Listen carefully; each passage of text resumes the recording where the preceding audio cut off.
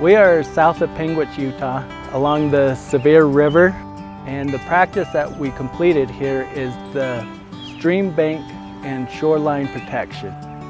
It helps the river from eroding away the banks. We cut down trees and put them along the stream bank and then we put a backfill on top and then we restrict the cows from coming in by fencing the river off.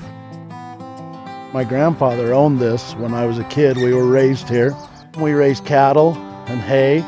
The river was causing erosion on the banks and taking out the land and just keep eating it back further and further.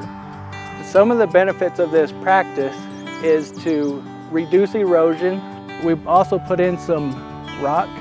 Putting in this rock, it draws that current away from the riverbank.